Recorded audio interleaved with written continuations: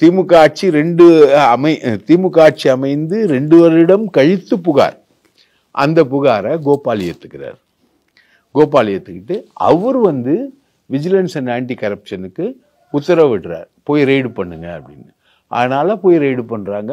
மலர்விழியை வந்து மாட்டுறாங்க மலர்விழியை gas book பண்ண. இதில் ஜோக் என்னென்னா ஜெகநாதனே சில பத்திரிகையாளர்களை கூப்பிட்டு மலர்வியை நான் வந்து சஸ்பெண்ட் பண்ணுவேன் ம். மலர்விழி மேல நடவடிக்கை எடுப்பேன் அப்படின்னு அவரே ஓப்பனா டிக்ளேர் பண்றாரு அப்போ ரெண்டு பேருக்கும் இடையே நடந்த அந்த பர்சனல் மோட்டிவ் தான் தகராறா மாறுது அப்போ இந்த ஆட்சியில திமுக ஆட்சியில நீங்க பாத்தீங்கன்னா அதிகாரிகளுடைய சாம்ராஜ்யம் எப்படி இருக்கு இந்த அதிகாரிகள் நினைச்சா என்னெல்லாம் செய்ய முடியும். அப்படின்றது. அவங்களுக்குள்ள இருக்கக்கூடிய ஈகோ ஐஏஎஸ் ஆஃபீஸர்ஸ்குள்ளே இருக்கக்கூடிய ஈகோ